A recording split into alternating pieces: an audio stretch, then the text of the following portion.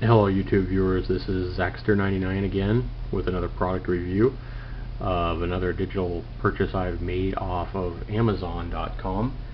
This time it's the Manhattan Products Digital Power Supply Tester. This is uh, a tool that you can use to test power supplies that power your desktop computers. Um, this wouldn't be for a laptop power supply but only for the desktops. And this is a pretty nice unit it can save you a lot of time and trouble and guesswork um, out of checking power supplies and see if they went bad. And this little unit costs about $30 on Amazon right now. Um, and again, it's a Manhattan product. I purchased this about a year and a half ago, and I've tested literally dozens of power supplies uh, with this unit uh, successfully. Now, I want to show you the unit here. Uh, I apologize that this video camera that I have is just not that good. Uh, not high quality and I have to get a lamp here uh, just to provide extra light even though this room is pretty well lit.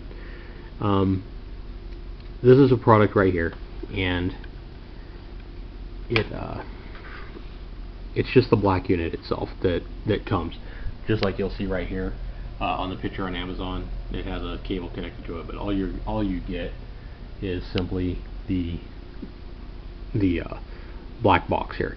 Doesn't have any power cables or anything, doesn't have any cables at all because all the cables you'll plug into it come right from your power supply that you're testing. Now what I've done for this particular instance is I've bought a garage sale computer tower right here, had a hard drive in it, paid about $10 for it, which I got a pretty good deal because it had 2 gigs of RAM and looking here it had a 250 gig hard drive um, inside of it, which I've already tested and it's good. Um, so you know, definitely got a good deal, but the the uh, computer won't power on or powers onto a black screen. So to, so the guy said. So we're going to check the power supply out and see if it's any good, and I'm going to show you on this video exactly how you do that. Now, when you get this power supply tester, you're going to want to take the 20 pin connector from your power from your um, power supply and if it has an additional 4 pin connector uh, separate uh, that goes to the 20 or 24 pin power uh, slot on your motherboard you'll take those and you'll put them right into the right side here. If your power supply only has a 20 pin connector and some of them do then you won't have this yellow part down here. You will just have this part and you'll plug it in right at the top. And it'll only fit one way so um, but that's where that would go. And then over here, I don't know if you can see, it has exact a diagram to show you exactly where you'll connect any of your 12 volt connectors. Um, this will be the 8 pin connector uh, or a 4 pin connector, which a lot of motherboards nowadays just have the 4 pin that plugs into a separate spot on the motherboard. And then it also has a 6 pin tester right here, which will test your 6 pin power supply cables that go to video cards. That's specifically what those are for down here at the bottom, you'll have a uh, an old style uh, hard drive power connector with the pins, and that's just the that's uh, when you have this power supply actually has both. That's when you have these kind of connectors. You can test those out for your power supply. And on the top of the power supply tester, that little slot right there. I don't know if you can see it on this uh, crummy digital camera, but um, that's where you'll test uh, these SATA connectors that go to your hard drives, the newer hard drives. So what you'll do is you also want to make sure that you're supplying a load on this power supply because anytime you're using a power supply on your computer it's going to have a load on it. It's going to have the CPU. It's going to have hard drives which have, you know, the motor spinning and provide a load. So testing it blank with no load uh, is kind of silly. It's kind of like you know seeing how many uh, you know uh, weight curls I can do, you know, with a two ounce bag of chips or something. I mean, I could go all day long, but when you give me a workload like 20 pounds in the dumbbells, um, I'm going to significantly slow down, and that's what you want to check, if that makes sense. I'm just kind of winging it here and trying to give my best description. I'm sorry I'm not real technical, uh, and I don't know all the the lingo for all this stuff. I just kind of know how it works. So you do want to provide a load and I'm going to provide a load with the hard drive that came in this computer. So what I'm going to do is I am going to take the, this is a SATA drive that I got in this thing, so I'm going to take one of my SATA cables and I'm going to plug it in. Excuse my camera work while I try to do everything one-handed here, but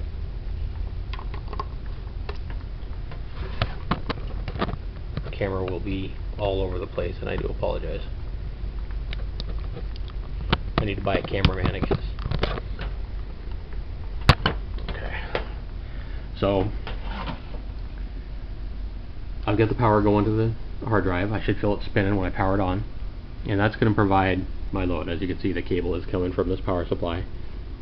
And you'll want to connect this main power, and you'll want to connect one of the powers over here initially. And then you'll want to put it under a load with at least one hard drive. And make sure the power supply is plugged in. And I have the switch turned off, so I'll turn the switch on at this time. I hear my power supply tester beep twice, which is a good sign. I fill the hard drive, make sure it's spinning. It is. And I look down at my power supply tester. This is where this digital camera, providing my video coverage, is going to be real spotty. And I apologize for the horrible picture. But here it's going to show you the voltages. It shows you plus 5 volt up here in small letters. So it can be, you know, plus or minus 5%. And this is the actual reading, 5.2. Here, it says plus 12 volts, since I don't think you can read that here. And it's 12.5. It says plus, uh, 3.3 volts up in the upper right, and that's exactly what it is, 3.3. Here's a, your 12 volt uh, tester, 11.9. 12 volt set a secondary 12 volt tester, 12.5, which is intolerance, uh, 5.2, and then PG uh, signal here gives a millisecond reading and that's basically showing you milliseconds. I guess it's a ping on how long the uh, power takes to go from the power supply to you know through the wires into your motherboard.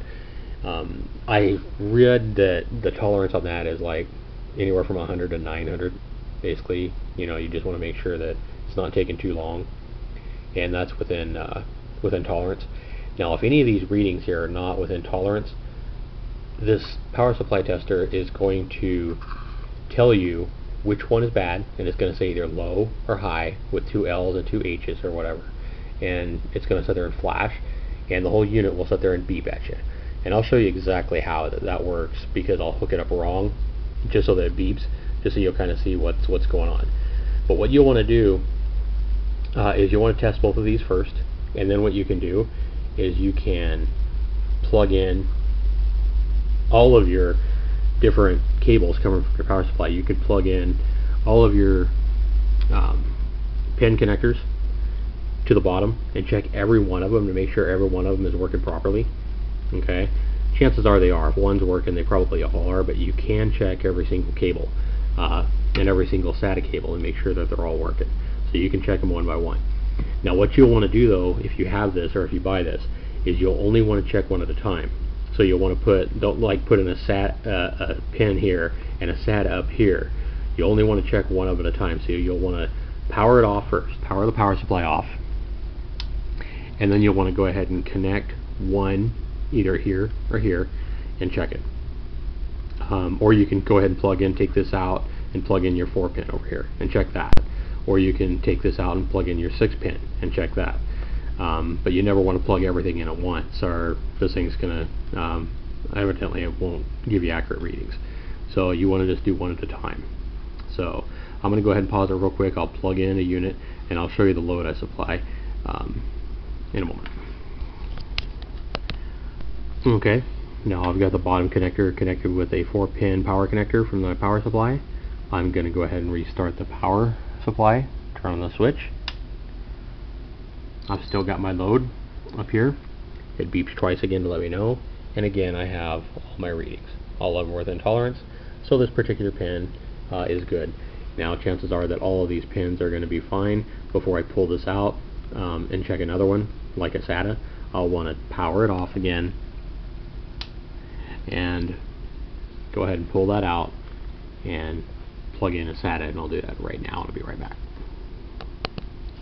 And as you can see, we now have a SATA plugged in at the top from the hard, I mean from the power supply, and we will turn our power supply back on. Again, readings are all good for that particular connector, and again for the main power from this power supply, this power supply is actually good. Now what I'm going to do is I'm going to go ahead and pause the unit. I'm going to hook this thing up wrong and show you what happens if you actually have um, a bad reading or you have it hooked up wrong. And I'll explain that in just a second. Okay, what I've done here is I've simply removed the left side uh, connection. I don't have anything plugged in over here, so I'm not going to get my second 12 volt test. And at this point, um, it's going to give me a constant beep showing I have no 12 volt uh, connected. But if I did have one of my 12 volts connected over here and I got this beep, then I would know that I had a bad reading. Um, so we can we can pretend that I have that connected, and I'll show you what happens if you do have a bad reading. So if you look at it now, it's actually improperly connected because I don't have that 12 volt connected. But this is what it's going to do um, if you do have it wrong. And see how that LL is showing you that that particular 12 volt reading is low. So if I did have this right left hand 12 volt connector connected and I was getting this reading, then I would know that I had a bad power supply because that particular it shows you exactly what reading is low. Um, you know if uh, if your PG you know uh, power supply power good reading here was low, if that delay was too high, for example, that would be probably HH at you, and it would continually beep. So this is just because I don't have this connected. So that's why it's beeping, but this is what this unit will do if anything um, is bad. So that's how to properly use this um, power supply tester. It's very easy as long as you follow directions and you don't freak out if you got it connected wrong and think that your power supply is bad. You know, obviously this is a good power supply. Um, I just don't got it connected all the way, and that's why it's beeping. So hopefully this helps somebody else out that does computer work or wants to test their own power supply, um, you know, before using it, because it is important that you use um, it is important that you use a good power supply. I never, when I build computers, I build them myself. I never trust, you know, name brands that I've never heard of, like this Allied. Um, it might be a good brand, I've just never heard of it. But um, I always go with the top brands like Thermaltake and Corsair and, you know, that kind of high-rated brand. Um, you know, you can buy these power supplies really cheap, but if they go out, they can cause you know a lot of damage to your computer, your motherboard, your memory, um, integral uh, components of your computer. So really not worth it to save a few bucks to put these cheap power supplies in. I always say that that's one of the most important things to buy if you're building a computer is to buy a good power supply. And if you're going to be working on computers at all, this is an essential tool and a very highly recommended tool um, to use. Um, I can't say anything for other brands of power supply testers. I know there's cheaper ones out there. There's probably a lot more expensive than $30 ones, but this one here has done the job well for me uh, continually, and uh, doesn't. I don't think it's ever given me um, a misread. So that's my review of this Manhattan power supply tester. I've not only reviewed it, but I think I've showed you how to properly use the tester because I can tell you right now these things do not come with good instructions. Uh, from what I've read, the other brands also have really poor um, instructions on how to use them. I think that maybe anybody that knows what they're doing should probably know what they're doing without, you know, having to read an instruction manual. But um, if you don't know what you're doing, kind of like, you know, I didn't know a whole lot when I first bought this. Uh, I was kind of up in the dark for a while and until I figured it all out. But anyway, that's my review of the Manhattan Power Supply Tester. It's on Amazon for about $30. Uh, if you do any kind of computer work, I, again, I highly recommend it for watching this video and signing off.